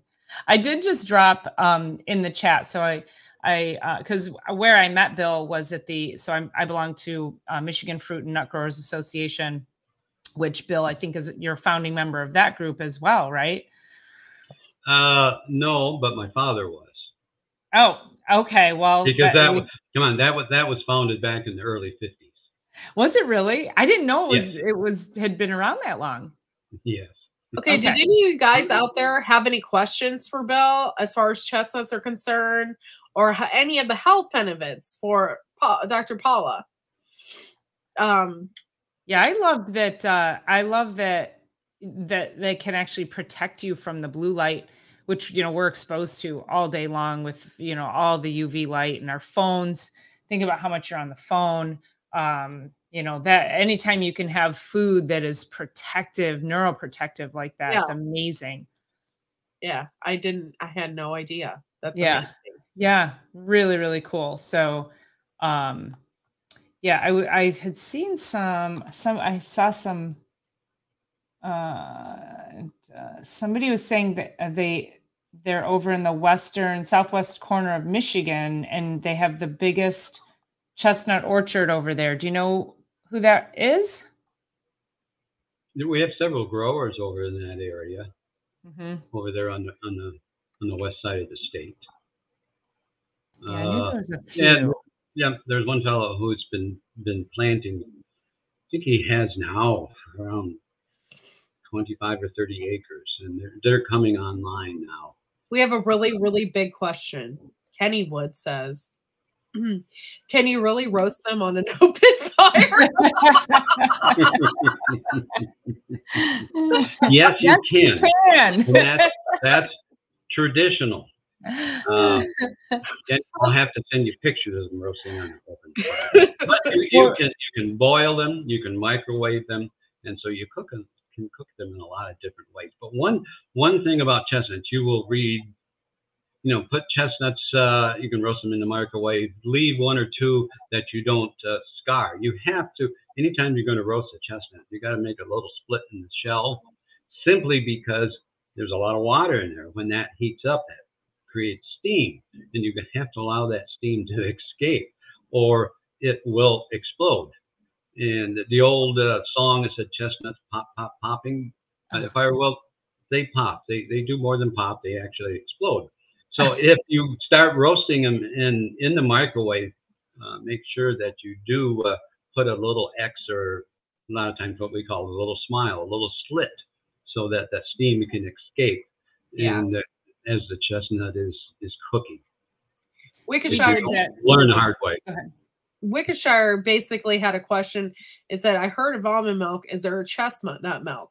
You can make a milk out of any nut. hmm You can make it out of almonds. You can make it out of cashews, any of those nuts. Um, And I'll Well, bet. because chestnuts are are yeah, you can, can do it. Chestnuts are higher in water content than than other nuts. Uh, they don't have they're more more carbohydrates in there, so they are a little bit more like a potato. Uh, so it's not quite as easy to do that as you would other other types of nuts, or or to make a, a, nut butter. You can certainly make a puree uh, out of them, but uh, yeah, you can, but it's it's not quite as easy. When somebody was asking earlier, and it looks like this question or comment has made it back around about um, easy, easy to peel, because I, I know also um, in the past when I've bought them and tried to roast them, you know, there's an inner, so there's the shell, and then there's an inner, um, uh, like a like a Pellicle. Pellicle. pellicle yeah. And so so what makes that difficult to get off or what makes it easier to get off of there? A lot of times roasting them will expand that and make that pellicle come off a lot easier. One of the easiest ways to do this uh, is to cut your chestnuts right in half, sort of along the equator line, and place them upside down on a paper plate and put them into the microwave. Now, that's not as aromatic as roasting on the open fire, but it's quick and it's easy. And uh, generally, after about a minute or two in the microwave, uh, the shell pellicle will just lift right off.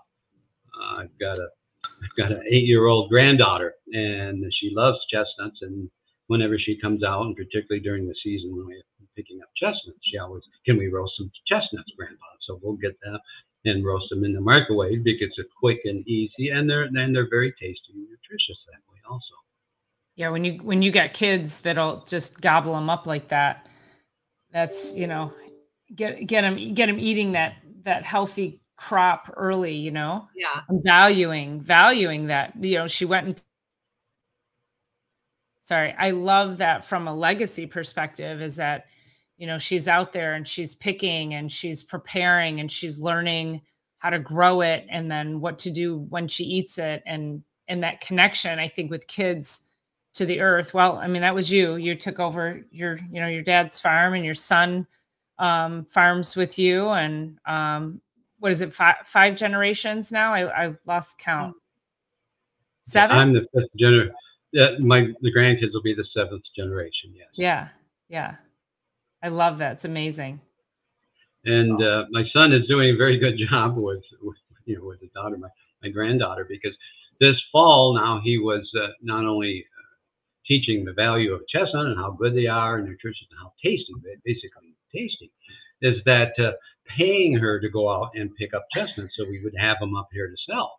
So she's going out picking chestnuts, realizing that her labor, her work, she can make money. Then she'll have money to be able to go out and, and buy what she wants. Uh, so it's it's a good learning uh, learning process. Do a lot of the places have a you pick business, or is that something unique to you?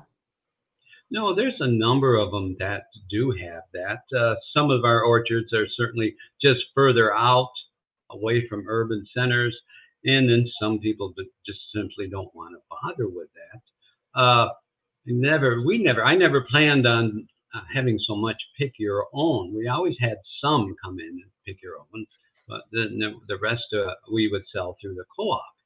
Well, COVID hit, and all of a sudden everybody wanted to get outside. So that fall, people started showing up from all over. I mean, we had folks coming in from Kentucky, from nice. Minnesota to pick chestnuts, and a lot, of course, Detroit and Chicago, and a lot of around, you know, Lansing and, and Michigan State University. But it was all of a sudden they just started showing up, and ever since then, we we sell probably ninety percent uh, for pick your own. Uh, it's it's surprising, and the only thing we ever do for advertising is simply post on Facebook uh, when they're ripe, and evidently by word of mouth. And they just people have been coming in, and on the weekends it gets very very busy around here. Um, Kathleen Moran asked, "Are there uh, are the the health benefits similar with the different varieties?" I yes, you know, I'm not sure of any studies that would have you know compared Chinese to European to to uh, uh, you know Americans and, and or the Japanese, but I would think they would all be pretty similar. I mean, it would be a little bit like I would think apples. You know, they probably will vary a little bit, and they certainly will vary in taste and in what somewhat. But I would think I would think uh, they would be very similar. But I'm not really aware of any studies that have ever tried to compare the nutritional value of a Chinese uh, chestnut and the European chestnut. Interesting. Scrolling through for questions here. Yeah, that's what I was doing too. Yeah. so, uh, did you say there's big? So, Wanda asked, I've never seen any as big as a tangerine. Where can I get some of those? The, the actual nut isn't that big, is it? Do you have, no? Yeah. No, about the largest right? you'll, yeah, largest you'll have. But we we generally say so many per pound.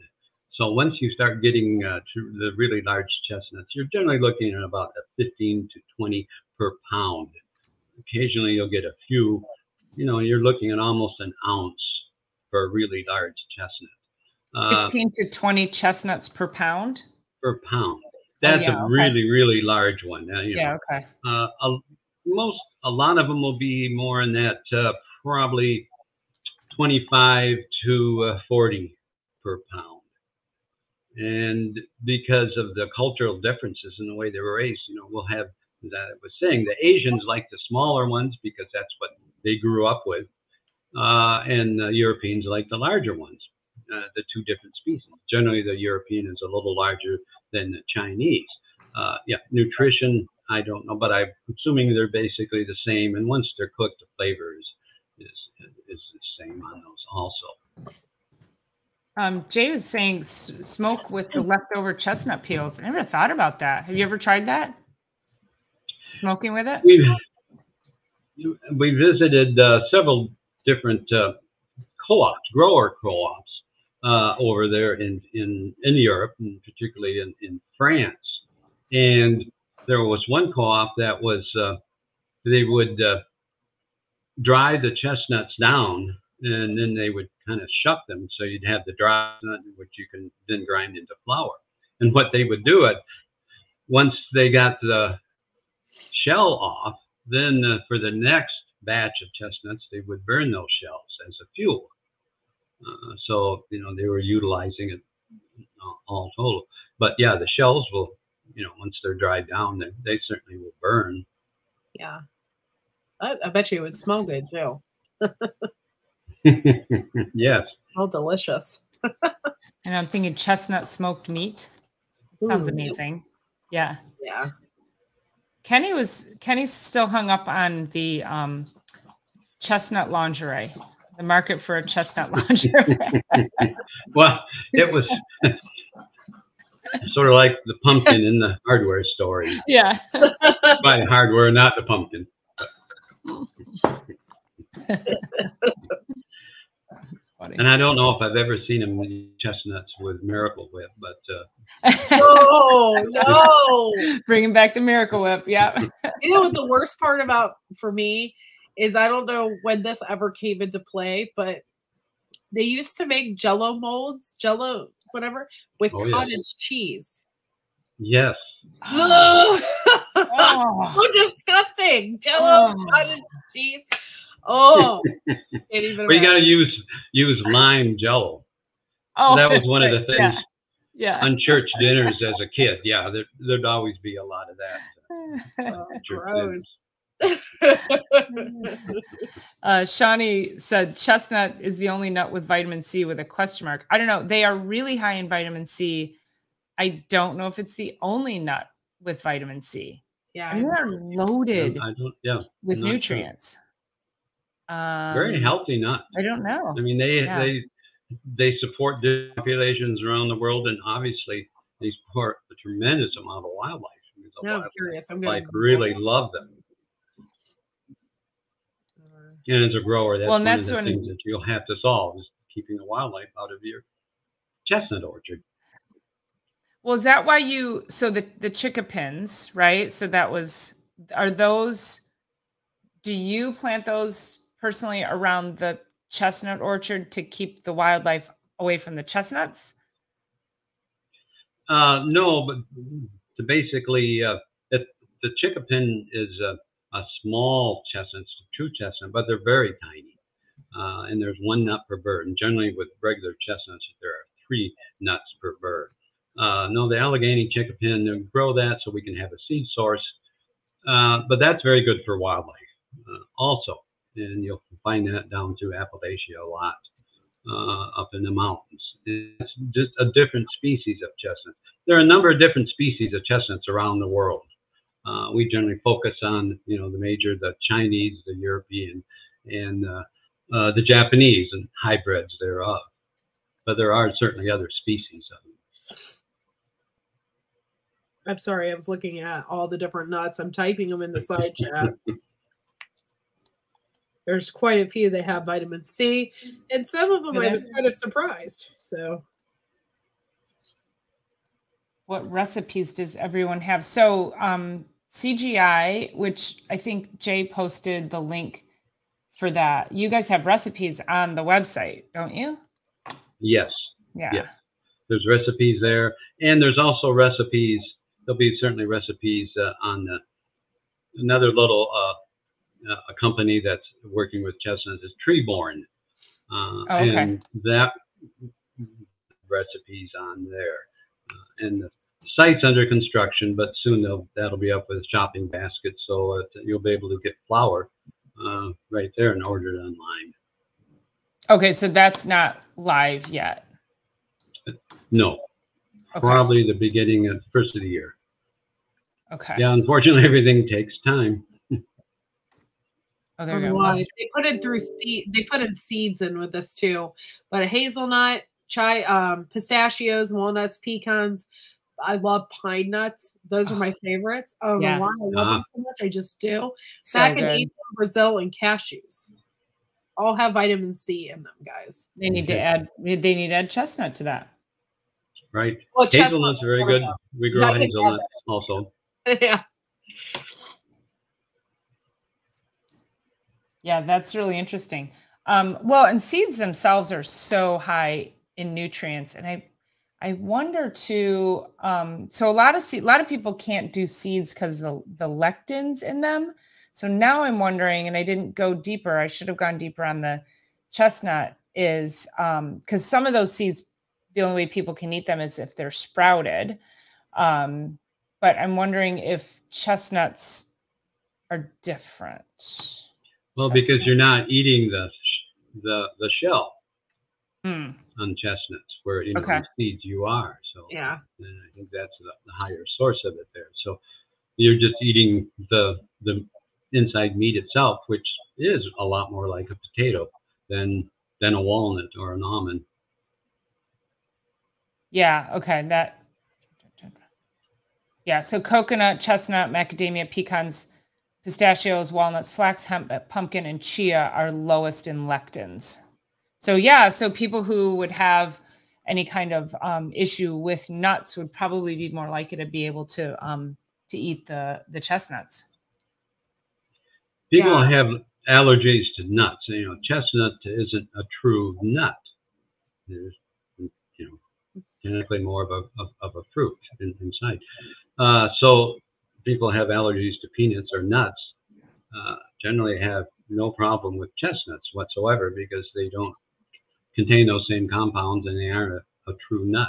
It makes me want to though go out they and say buy chestnuts. like cashews and nuts and all that. Macadamia. I know. Yeah. I'm so hungry for nuts right now. well, and you know, like you don't see cashew flour. Like I think, um, I think the only well, the only flour you find is uh, almond flour. I've made walnut, like a walnut meal out of black walnut and regular walnut for like pumpkin pie, but the chestnut flour, it's like true flour. It's not like you know, it's it's not a meal um, like almonds and and um, walnuts would make. So if you really want to cook something and you want flour, you know, a gluten-free flour, you're going to get what you want from the um, the cashew flour. And it's it's so lovely. Now Yeah, I really want to. I'm making crepes tomorrow. I'm making.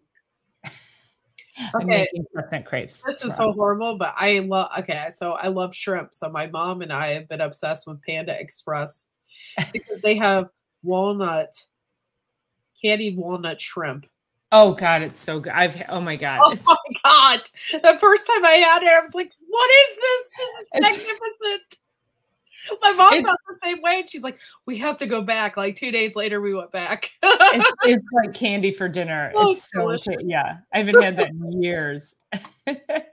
Well, one of the things with, with chestnuts, of course, the flour is very fine. A little coarser grind on that, and it's a lot like panko. And so it makes a very good coating Oh. for fish, for for any types of meat to, to Oh. fry up. Oh, I think you did give me it. Didn't you give me a bag of that? Think I used I- it yes. on. Oh, I I did. I used it on walleye, and it was Ah, okay. outstanding. Oh my gosh. Yeah. Well, the chestnut flour I use a lot on fish. So I did the flour on the fish, and then and then egg, and then did the the crumbs Right. and then pan fried it and oh my god it was so good but i use um i use that chestnut flour to pan fry fish a lot um and it's get you it like deepens that sweetness of the flour and it just boy it's amazing um or i'll like pan sear chicken fry chicken thighs and I'll use the um the chestnut flour in that too and it's amazing. And and again it's gluten free, right? So you're um you know if you want to fry something and you know just a little bit of coconut oil and uh and you, you know you've got a really healthy meal. Yeah. I like Yeah, walleye. it I don't like perch. There, Kenny. Oh my god, I love perch. How do you not like perch? I don't. I think it's because it's always served with the back skin on it or something. It grosses me out. Okay, you're probably I'm gonna say ocean perch versus lake perch. Oh, those are two ocean perch is disgusting and it always has that skin on it yeah. and lake perch is like light and flaky and sweet and okay, just so Very maybe I haven't had Very the good. yeah correct perch. yeah and if you go into a restaurant you better ask if it says perch on the menu you better ask is that lake or ocean um, because a lot of times it's ocean perch and oftentimes they will tell you it's lake perch because they don't know and you'll get ocean perch it looks different it tastes different it's disgusting yeah. Yeah.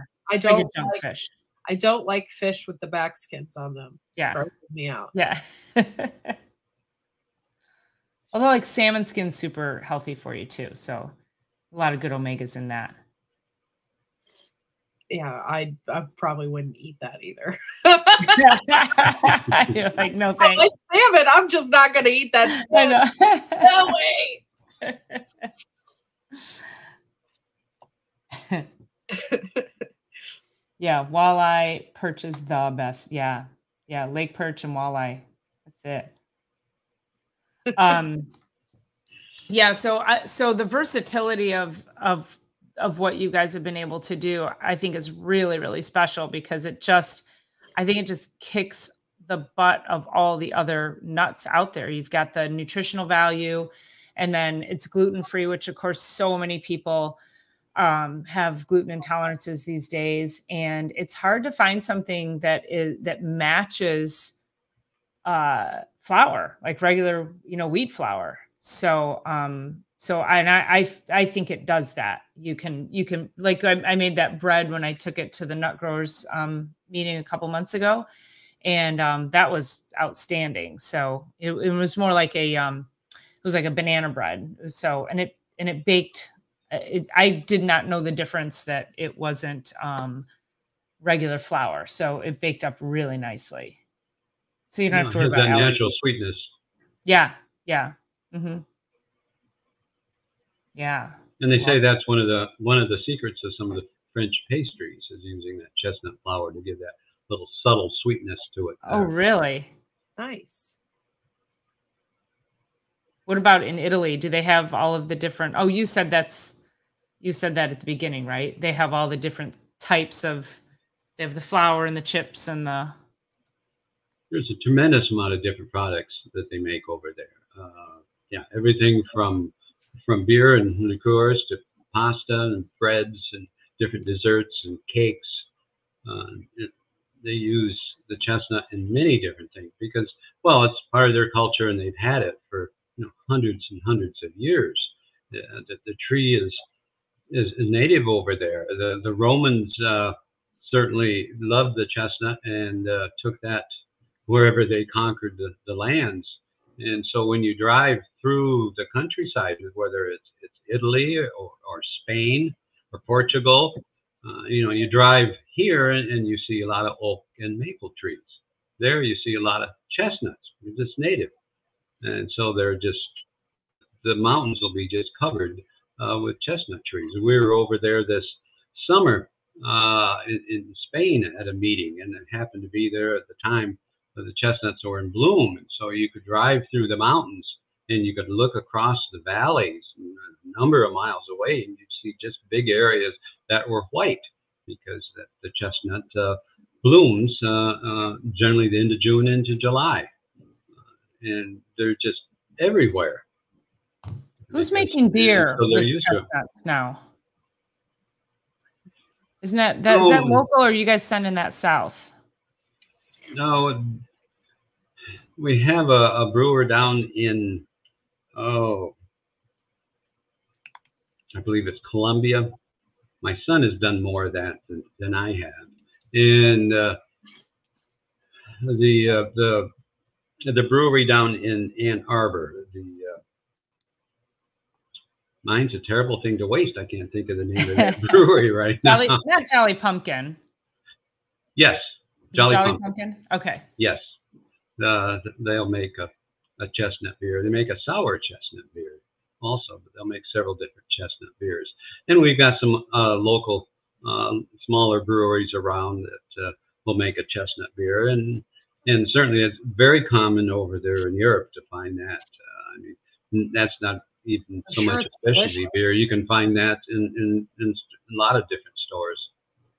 Sounds like it'd be good to wash down some walnut shrimp. There you go. Yes. And the chestnut liqueurs are very good over there also. oh god, that sounds amazing too. Sounds amazing. I'm getting thirsty. I'm excited because literally just down the street, somebody's opening up a meadery. So they're gonna be oh. making mead. A meter? Oh, mead. Yeah, mead. mead. I was like a oh, meadery. Oh, oh, Sorry, and I have a cold too, so that's like Okay. that sounds weird. But no, mead. I was like, we call those butcher shops here, Not but mead. okay. yeah. yeah. right. oh, I can't wait. I'm so excited. They haven't quite opened yet, but it's in an old church, which makes it super cool. I can't wait. Yeah. Yeah. Well, we'll have to visit when we come down. Yeah, it's I can't wait. Plus I really like mead, so it'd be great. I don't know that I've had mead. It's it's kind of like wine, but it's way stronger. And they don't use all of the components Honey to make wine. there, there, and. It's usually made out of fermented honey and stuff like that. Mm, okay, I could do that. Yeah. Well, I'll I'll come down. We'll go have mead, and I'll bring you some chestnuts. Okay.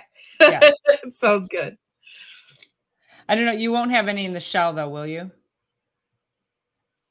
Bill? We yeah, we'll have them for a while. Oh, okay. Oh, you So, still have yeah, some. So they do. haven't all been processed right now.